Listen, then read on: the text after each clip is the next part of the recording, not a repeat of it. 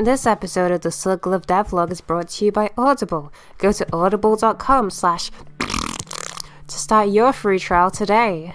And welcome back to Devlog. In the last part, I worked on Axe Combat and Axe Combat Strings, and in this part, I work on a new dodge input, a new dodge dash mechanic, uh, making movement more fast and fun. And uh, then I broke a bunch of stuff and I had to fix it. The first thing I did was update the snap turning. This is the feature when if you're running very quickly or moving in one direction and then you press the opposite input, your character will snap turn to that new direction. I have now updated this so it looks a bit better. The first thing I did is add two new animations. The first is a snap turn normal and the first is a snap turn when you are sprinting. And the next thing I did was add two new snap turn uh, logic systems.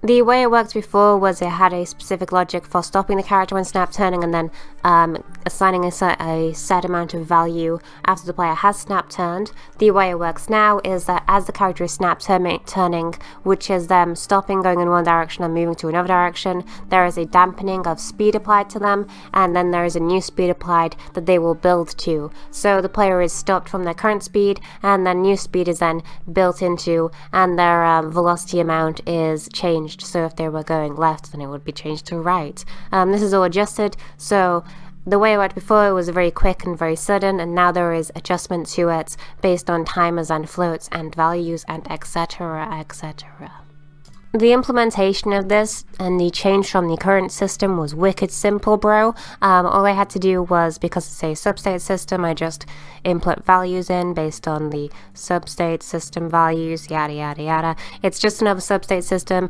It's the same way as they all work. It's just specific values being added to the character when they're in these specific states. There's two reasons for wanting to change this. The first being I didn't think the original snap turn animation looked very good, so I wanted to reanimate it and make it a lot better. It's now a lot quicker, it has more weight conveyed to it, it looks better, I just like how it looks overall now. The second reason um, was that I wanted a specific snap turn animation for when you are moving quickly, as in when you are sprinting.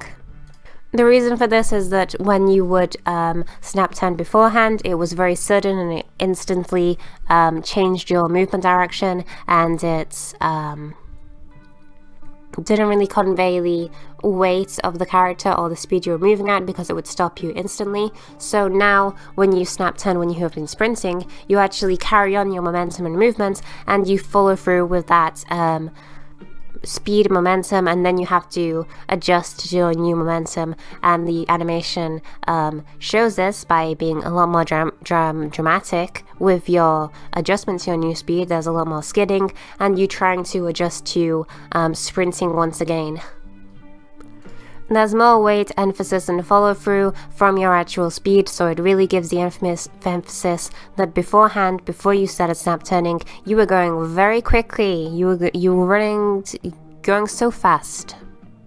The next thing I did was update the dodge mechanic. The way it worked before is you press dodge, you did a dodge roll. Now there is um, two new features. The first being that the dodge in air is completely different and has different logic for it. The second being the dodge itself is completely different and has different logic for it. And the third being that the dodges can now be transitioned into a new state called dashing. Although technically dashing is just a sort of dodge, but don't worry about that too much. So the same way as the snap turn system, the dodge system is completely reworked to use different values. Now the player has a sub-sub system when dodging. The first is this is the preparation for a dodge. So when you press dodge, you don't instantly dodge, um, you don't instantly start moving. There is a delay before you start moving based on if you're on the ground or in the air. Um, this could be 0.1 seconds for this example, but it's probably not, it's probably a different value. This has the character waiting for 0.1 seconds slowing down from their current speed and adjusting to not moving. Then once this time has passed, we transition into our dodge movement. Our force is added in our movement direction, or if we are not pressing a movement direction, we just go backwards. We move in this direction, and then as our dodge time goes on, we lerp to a slower, um, slowed down speed. The normal dodge being that you, once you end the dodge, um, your current speed at the end is zero. We also have overrides for how much we can move, how much control we have, so as you are dodging in any direction, you could move left or right or forward or backwards or change your direction you are moving in, but during a regular dodge, you cannot change your direction very much. You can, however, change your direction very much in a dash. If you hold your dodge input down, holding down circle, and are pressing an input on your controller, as in a directional input, after you have performed your first input of a dodge, halfway through the dodge, you will transition into a dash. A dash is the same way as a dodge mechanic. It has the same uh, input values that are read the same way in the scripting. They're just different input values. So the dash, you don't actually slow down as you're dashing. In the dash, you um, can build speed. You're technically stuck always building speed when you're dashing. You're always moving when you're dashing and the character has this very floaty sort of slide to them. And the character can skid around the area. They have a lot more um, movement to them, but they have less control. So this is a sort of dodge when you want to continue moving and you want to continue dodging out of the enemy's way. You want to continue with your speed. You don't want your speed to be killed when you are dodging. So you hold down the input and then your dodge will go into this dash. Once this is finished, you will either um, transition into sprinting, or if you let go of your input at any point, you will transition out of the dodge input normally based on whatever your current speed is. So if your speed was um, less than sprinting, you wouldn't be sprinting, and if it was more than sprinting, you'd be set sprinting. The point is, if you let go of your input, you stop um, dashing. The reason I added this is because I wanted combat to be a lot more faster. Um, I wanted it to be a lot more quick and floaty and fun because I like quick combat. So having the dodge also function as a movement option um, serves that very well. It has replaced the current slide mechanic.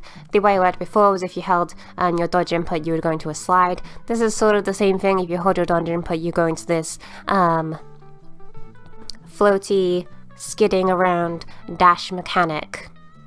In terms of visuals, there are four different dodge animations, you dodging left, right, forward or backwards, and then as you are dashing, there are four different animations that are blended between based on your velocity. If you are dashing forward, left, right or backwards, so if I dashed left and then changed my direction, um, my character's animations would change as they are adjusted to the speed. I really like this method of animating. Um, it's just different poses that are blended between based on velocity, but it makes the animations look like I've put much more thought and effort into them than I actually have. It's just the characters blending between animations. And as the character is dashing, they are making a skid trail go along the ground, um, they're kicking up dust, it's sort of them floating through the air, and I'm sure I'll add some lore explanation as to why the character can just float like this, but this is sort of the impression the character is going very quickly. As you are dashing, um, you're kicking up a lot of dust behind you. Dashing in air works very similar to the dashing on ground systems, in the sense that it's the same system. Um, it just has a few overrides. It uses different input values. So dashing in air could have a um, slower readying time. It could move faster. It could have less control.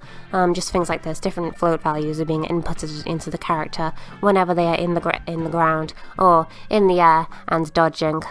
There is also different animations played, but they're pretty much the same thing. You either dodge left, right, up or down, and then you blend into a dash animation when you are in the air. If you have landed from your dash animation from being in the air, you will transition straight into sprinting instead of continuing to dash. Because you just landed on the ground, the dash is probably over. You should start moving now. You should start running probably. Originally, I was going to make the system so you could only dodge in air, and you cannot transition into a dash while you are in the air, but um, that wasn't fun to do. And also I was playing Scarlet Nexus, popular videos game at the time of designing this, and there's an air dodge in that game, but it's very, um, it stops you after you finish it, and every single time I use it, I'm always kind of disappointed that I cannot continue to move quickly um, once dodging an air, so I wanted to make my dodge more satisfying than that game's air dodge. It might not read very well um, as a gameplay, mechanic, or it might not make much sense. You can, for some reason, once dodging an air, transition into this very um, speedy mechanic, but it's more fun for the player, so I don't particularly care very much. I then started to work on changing the game's overall speed values, this being the actual value of speed that the player moves at. And the overall momentum of building speed and gaining speed. With the game having more of a focus on combat, I felt like having the player have to build up to speed and um, maintain their speed didn't really make much sense, or it wasn't very um, fun and engaging. So like the dodge um, dodge dash function where the player can um, build speed and skid around. The player now has a overall increased base speed. You can move a lot more faster. You can build speed a lot faster as well. There isn't um, that much time before the player is at a speed where they are running quickly, and then the player is normally building speed towards when they can start sprinting, which is also incredibly faster than it used to be. Essentially, the player's overall speed values are increased. The reason for this is because I like fast paced combat. I felt like the movement before wasn't really um, fun for fast-paced combat, it needed to move faster, so I just increased the values, made a new animation for sprinting very quickly, and now the player move quick.